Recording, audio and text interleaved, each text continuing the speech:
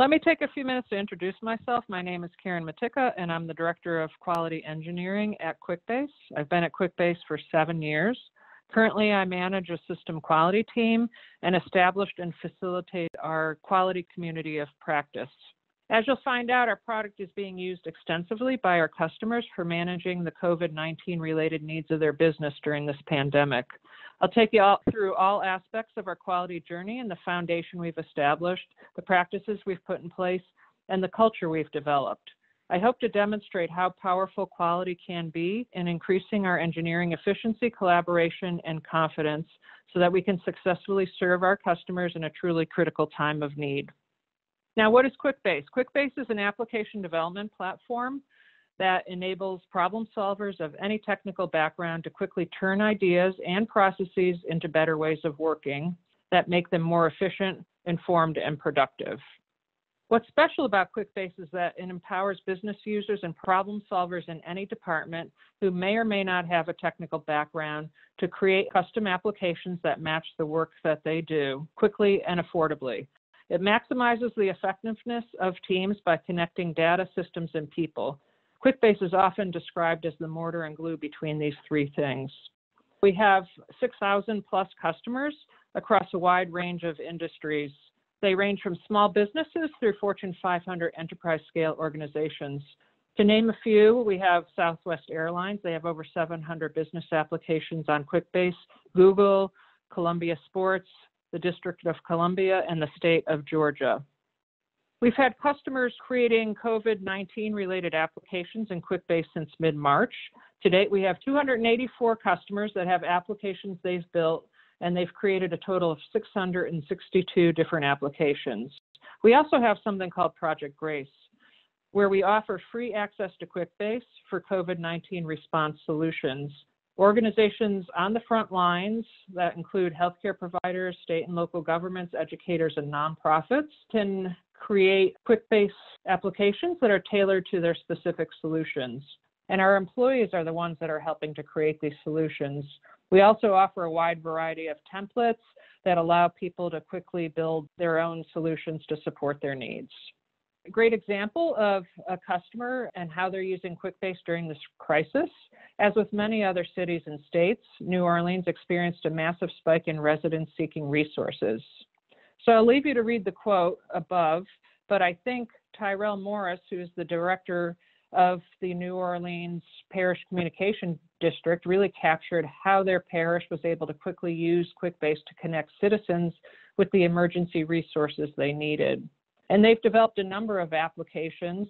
So they have a self quarantine registry. So citizens under self quarantine can register using QuickBase, and every day a member of Tyrell's teams calls these folks to check in on them. They also have an integration with another system to produce heat maps for the mayor.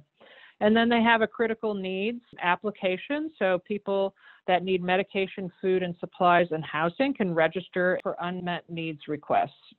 There are also several other examples of QuickBase and how they've been used by our customers. One of the largest U.S. cities created a medical response hotline process we have a medical center tracking trained employees so they can allocate medical care to rural communities. And we have an enterprise delivery service provider who's tracking COVID 19 cases and assessing business impact in real time. So, what's our quality story? So, imagine that we have a foundation of a chimney. While this is not an exhaustive list, each brick shown represents some important aspect in our own QuickBase quality journey. I'm not going to talk about any of these in great depth. It's not that wouldn't be useful, but it's not what this story's about.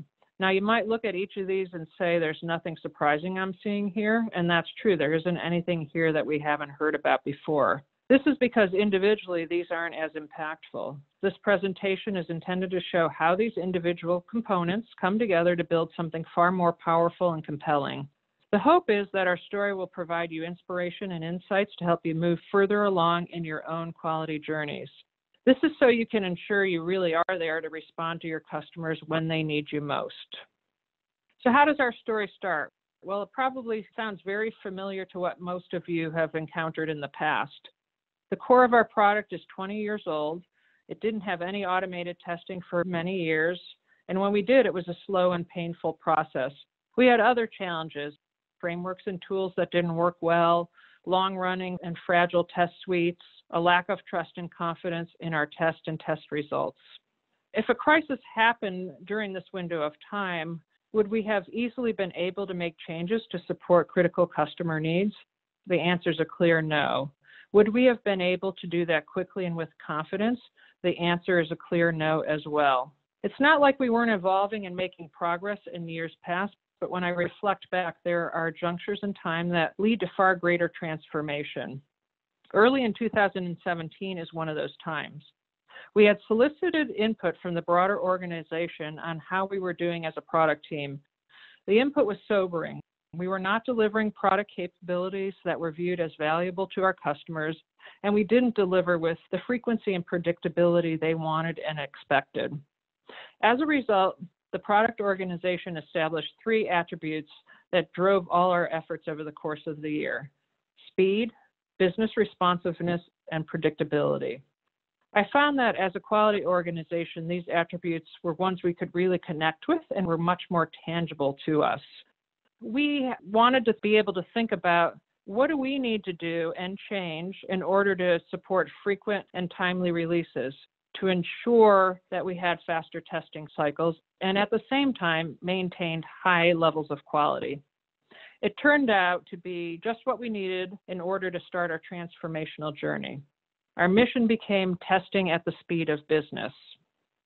As a result of this, we embarked on the first phase of our journey, and we established a cross functional team that was really focused on looking at first where we were at. So, what were we testing? Where were we testing? How were we testing? And when were we testing? We then answered those questions again with a forward thinking focus. What do we need and want to be doing? During those discussions, it was essential for us to put aside any obstacles and constraints that would inhibit our thinking, creativity, and innovation. This had to be a free and open visioning exercise. And we had a discussion that was wide ranging and in depth, and we spent many long hours putting material together. One of the outputs of this was the QA architecture diagram shown here, and that really encapsulated all that we had discussed. Of all the content we put together, this was the one thing everyone in the organization could connect with and relate to. And it really became the basis for most of our discussions. And I think it was the thing that helped craft the path we started to go down. So while we were tackling some of the basics that were part of the phase one strategy, the next month we encountered a few other things that upset the apple cart. One was we had a re-architecture initiative we abandoned, and the second one was that we reevaluated our engineering organization. What was important to us? What type of culture did we want to have? And included in that was a shift in our dev to QA ratios in order to foster greater accountability. I'm communicating these events because they had a material impact on how we moved forward. It's also to showcase that we faced regular changes and challenges so the reality is that not all paths are smooth and seamless. You have to work through challenges and continue to adapt and learn. But as a result of this, we evolved some of our thinking and we really had to zero in on three core investment areas. One was shifting our automation distribution to the lower levels of our technology stack. The second one was focusing on stability and standardization, so our infrastructure tooling and our processes. And the third one was the ability for us to test in isolation. So, how can we use mocks and containerization to reduce our dependencies? Now, I want to make it clear that progress like this can't happen in isolation. Quality itself can't happen in isolation. And I believe the evolution and maturity of our quality practices was directly tied to the maturity we have in other parts of the organization. So we can't and wouldn't have been able to achieve some of these objectives unless other functions are in position to support us. And CICD is a great example. The operations team was maturing at the same pace as our quality organization. And so we were able to partner together to implement some of the things that we needed for our future success. In the latter part of 2018 and early 2019, we had some other changes that were really beneficial to how we move forward. And this is the phase that we're actually still in today. And it was really about focusing on streamlining, extending, and adding depth to what we had in place. One of the first things that we did was develop and create the system quality team and our quality community of practice. And I truly think that this is one of the best things that we've done in the product organization. It's been really instrumental in accelerating our progress. So the system quality team is really focused on establishing and driving key quality initiatives focused at a product and system integration level. And then it's also enablement through testing and quality support and services. So that's frameworks, infrastructure, practices, and tools. And then we also look to uplevel the quality expertise in our organization through training and education and partnering with the broader quality community of practice. And then we did some other things as well. We actually had two independent quality strategies one for our legacy technology stack and one for the new Java services that we were putting in place, and we were able to coalesce those into one. So it wasn't a one legacy code base or the new UI code. It was about one product that we needed to ensure was of high quality. Then we were also able to dig down and really get down to another level of depth in various strategies. So from a UI, API, and performance perspective. And then the next things that we focused on were really tighter coupling and line of sight between our product technology and quality strategies. So quality had a more prominent seat at the table. And then we did other things like extend our capabilities and offerings to further enable teams. This included benchmarking and performance, visual regression, dashboarding, so areas that we really hadn't been able to spend too much time in. Lastly, we took a fresh look at our automation priorities based on more of a holistic product based approach. So we had product experts look at what we should be testing and automating versus what we were actually automating this really summarizes our journey so far. It's really about key junctures that drove significant change for us, but it's also about continued learning and growth. I won't try and predict what's next for us. If the past is any indicator, we've always known when we've reached the next step in our journey. I'm confident that when the time comes, the next phase will reveal itself in the same way. What's next will be based on learned experiences, the new needs of the organization, and the overall maturity of our development life cycle and quality practices. All I know is that when we get there, it's going to be exciting, motivating, and highly rewarding. Now, there's one essential component to the success that I haven't discussed yet, and this is the importance of having a culture of quality. To me, it's really the glue that holds everything together that we've talked about, and it's the one thing that can propel your growth forward in ways that you can't anticipate. So, what am I really talking about here? Well, there's testing isn't a single point in time activity. There's also no single tool, test, or person that can guarantee quality. For quality to be part of the culture, everyone needs to support and contribute to that. So, how do you get a group of people that are passionate about quality, who are talking about quality on a regular basis, who are taking quality focused actions? Well, here are a few of the things that I believe are important. One is that it's a mindset and there's an emotional component to it. And this may or may not be able to be changed.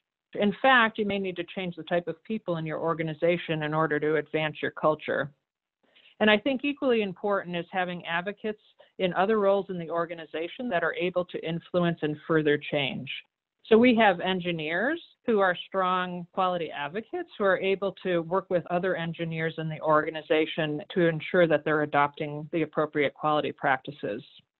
And then it's easy to say that you want everyone to own quality, but it has to be coupled with empowerment and accountability. People need to see the value of their quality contributions or understand the implications of not being quality minded.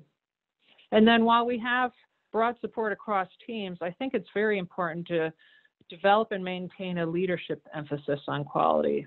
It does give quality a seat at the table, but it also messages the importance of quality in an entirely different light to the organization. And then lastly, trust and confidence. You have to build that through a foundation of frameworks, practices, infrastructure, and tools. And they also have to provide consistent benefit and value. I'm going to let Nick Vansalo, one of our developers, speak to the trust that I'm referring to. Working with the system quality team has helped us out a lot, ensuring that the code that we uh, push up into master or deploy to our customers is ready to go. Uh, QuickBase is a very complex product with a lot of different edge cases, so trying to do that all manually or remembering all the different pieces we need to check is very difficult. So having those automated tests give us confidence that we're releasing the right stuff to our customers and not breaking anything. So as Nick said, we want to ensure we release quality code to our customers. Customers have a short attention span these days. If they aren't happy, they can easily find another product to use. And likewise, when they do get new product capabilities, they have a limited tolerance for quality related issues. And I'm a strong believer that embracing a culture of quality can be a differentiator and a competitive advantage for an organization in the long run. So, what can you take away from all of this? I think this slide really captures how organizations view a quality progression or journey. If the expectation is that it's going to be a smooth progression to high quality, then that isn't realistic. You are most likely missing essential steps in the process, and the problems may not reveal themselves until something unexpected and urgent happens. Having ups and downs is more realistic, but the evolution is definitely a lot messier than that.